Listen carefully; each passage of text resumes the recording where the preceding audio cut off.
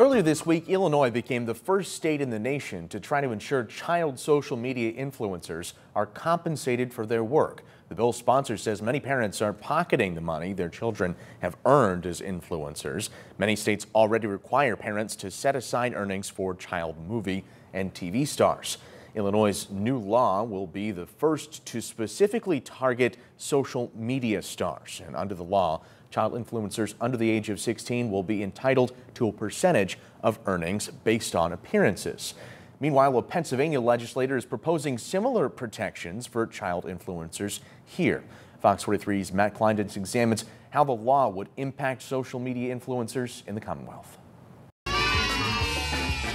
The youngest stars of social media could get more protection and more pay under Pennsylvania's child labor law. I think this is is just the uh, modernizing another, another way that children can be exploited. Republican Representative Torren Ecker says the work of child influencers is largely unregulated across the country. He says this opens the door for kids to be working long hours and making little money, all while generating millions of views. We know that children can enter into contracts, especially really young children, in some of these videos. So there's no protection that the star of the video, so to speak, isn't is is actually getting compensated for the time that they're putting in. Ecker's proposal follows in the footsteps of Illinois, the first state in the U.S. to regulate child influencers. Starting next year, a new Illinois law says that child influencers can sue their legal guardians if earnings from their content aren't set aside. There's definitely a movement across the country to tackle